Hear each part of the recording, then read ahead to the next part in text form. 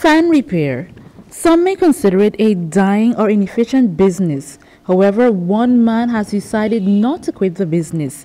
60-year-old Brian Rowe, also known as Fan Man, has been repairing broken fans for the past 12 years. Headline News caught up with the ardent businessman who spoke about the love for his profession. I put all my interest in it, my very best foot in it. And I thank God for this work that I am doing. I put my trust in God.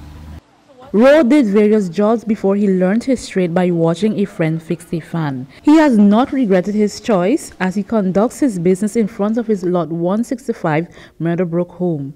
I normally do about six fans a day.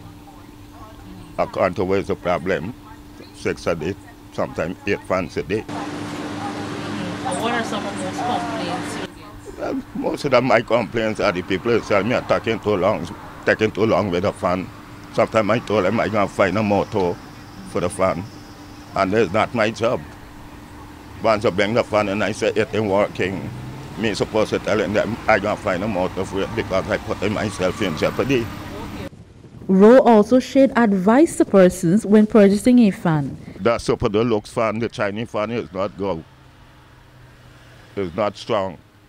Last Lasko fan is a good, better fan, and the West Pine fan is good fans.